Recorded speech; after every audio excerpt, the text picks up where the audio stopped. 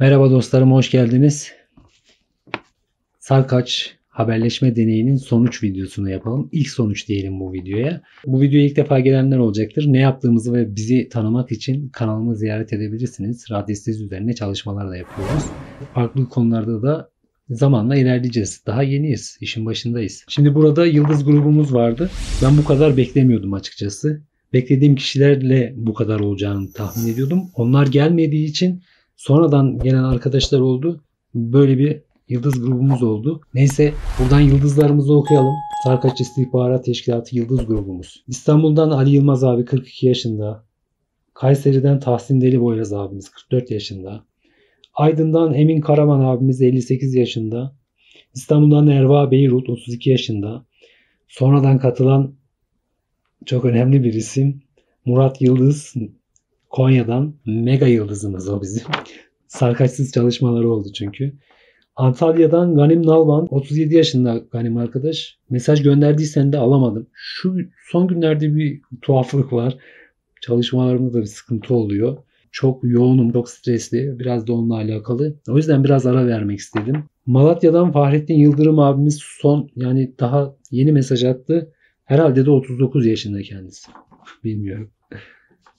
Bir kafa karışıklığı onunla da irtibat kuramadım. Mesaj gönderdiyseler de kusura bakmasınlar alamadım.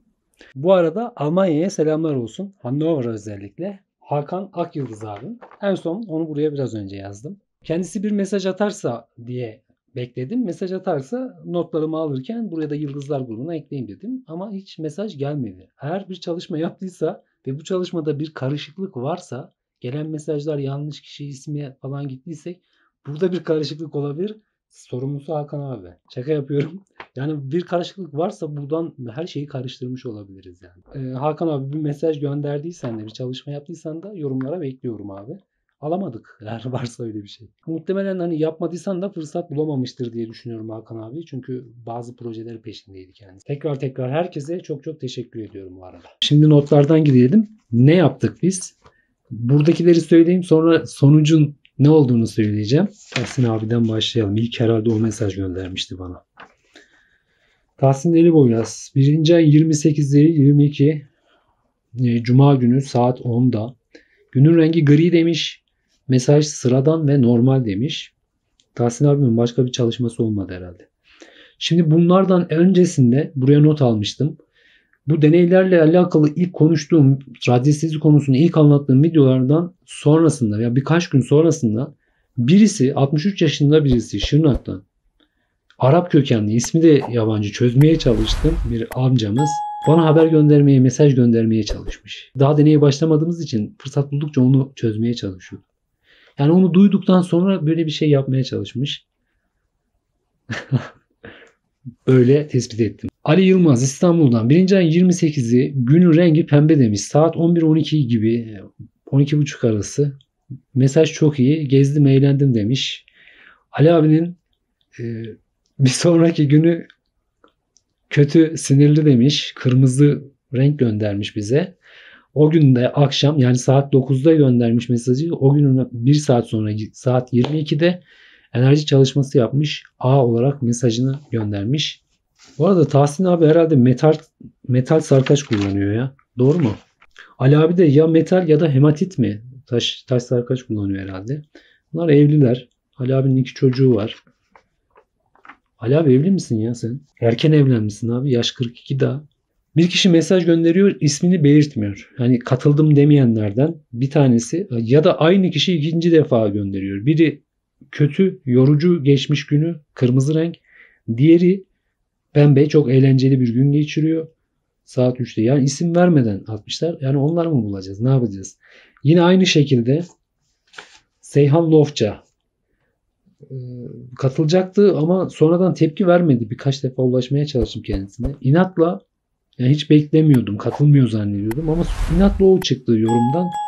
Eğer oysa isim belirtmeden 0102'de saat 22'de çok kötü hastalıkla ilgili siyah rengini göndermiş bize herhalde. Erva herhalde turkuaz sarkaç kullanıyor. Erva ile devam edelim. Erva bekar tesettürlü bir arkadaş herhalde. 30.01'de saat gece 1'de günün rengi gri demiş. Sıradan normal bir gün geçirdim diye mesaj atmış. Birinci ayın 30'u ertesi gün akşam herhalde saat 6'da mor mesajını atmış. Herhalde. Acaba neden mor? Evlilik teklifi falan mı geldi? İkinci ayın ikisinde saat 21'de enerji çalışması mesaj A göndermiş. İkinci ayın dördünde saat 8'de akşam 20'de iyi ve keyifli yeşil mesajını göndermiş. Ali abimin bir mesajı da birinci ayın 31'i saat 21'de mükemmel mor mesajını göndermiş. Acaba ne oldu Ali abi? Murat Yıldız iyi ikinci ayın 20'si saat 21'de keyifli yeşil mesajını göndermiş. Ama Murat'ın buraya da önceki mesajları yorumlarda ufak bir şaşmayla bulduk herhalde. Ama sarkaç kullanmadan çalışma yapmış arkadaş ve çok kötü hissettim o zaman. Fakat kötü hissetmemin sebebi bu arkadaş değil Ali abi. Ali Yılmaz abi sanırsam artık ne olduysa bilmem enerji çalışması mı yaptı bana bir deney mi yaptın ne yaptın abi. Yani sen çıkıyorsun şeyin sonunda. Varsa böyle bir şey lütfen yorumlarda belirtin. Kötü bir negatif bir şeyler aldım. O dönem aynı zamanda Murat'ın çalışmaları olmuş ama sarkaçsız. Yani sanki böyle bir savaşın içindeymişim gibi oldu. Murat o açıdan sarkaç kullanmadan bize ulaşmış birisi. Sonrasından bu mesajı da muhtemelen bir ya kullandığı objeyi sarkaç yaptı ya da herhangi bir şeyi sarkaç yaptı. Ona emin değilim. Onun çalışmasını yapmadım. Varsa öyle bir şey bize yazarsan seviniriz. Murat Yıldız. Benim Nalbant sıradan farksız demiş. İkinci ayın 18'inde saat 23'te almışız mesajı. Gri renk göndermiş. Emin Karaman bir mesajı ikinci ayın 22'si gece saat 1'de iyi hoş yeşil demiş. Normal bir gün. İkinci ayın 6'sı saat 10'da pozitif mavi göndermiş Emin abi. Sevindim. Mesajlar bu kadar. Peki biz bu deneyle ne yapmış olduk? Bu deneyin fikrini ilk defa ortaya biz mi attık? Evet.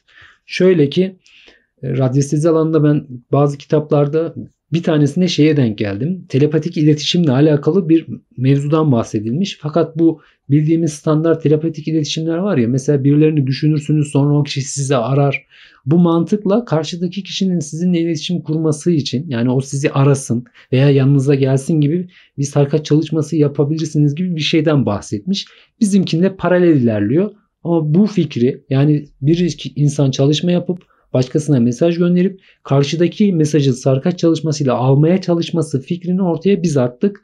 Yıldız grubumuz olarak e, bu fikre e, bu fikirle aslında biz zaten bu deneysel olduğu için zaten başarılıyız. Yani bunların tutup tutmaması, e, bulup bulmamak ayrı bir konu. Doğruluğu ne, ne oranda doğru olduğu ayrı bir konu. Bu bir tez olarak kalır, fikir olarak kalır. Ustalaşmış kişiler belki bunu birebir net sonuç alıp haberleşebilirler. Daha önce de bahsettiğim gibi aramızda bir kan bağı yok. Bir yakınlık yok. Bir yakınlığı video aracılığıyla kuruyoruz. E, böyle şeylerimiz yok. Veya ortada ciddi bir olay yok. Baskı altında, stres altında olduğumuz önemli bir durumda değiliz. Yani milletçek, devletçek böyle bir stresli bir durumda yardımlaşma, dayanışma gibi bir şey olmuyor. Pardon. Dolayısıyla fikren biz bunu başardık diyelim. Deney çalışmasına gene devam edebiliriz. Katılım olursa, e, yapacağım diyen olursa uygulaması biraz zor oldu. Daha basit yollar, daha farklı fikirlerle yazarsanız bunları da hani varsa bir şeyler o şekilde deneriz.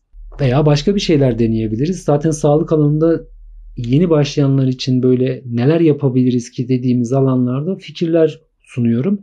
E, deneysel çalışmalar yapabiliriz. Mesela bir malzeme, obje saklayıp o objenin üzerine örtüp buluyoruz yani test. Bununla alakalı aramızda yapabileceğimiz yani birbirimizi görmüyoruz. Böyle deneysel yaklaşımlar da olabilir. Yani bu sonrasında başka bir çalışmaya dönüşebilir. Ama biz deneysel gidiyoruz sonuçta. Çok da fazla lafı uzatmayın. Bu video araya girdi. Sır kitabıyla devam edeceğiz inşallah. Çok da lafı uzatmayın. Allah'a emanet olun. Kendinize iyi bakın.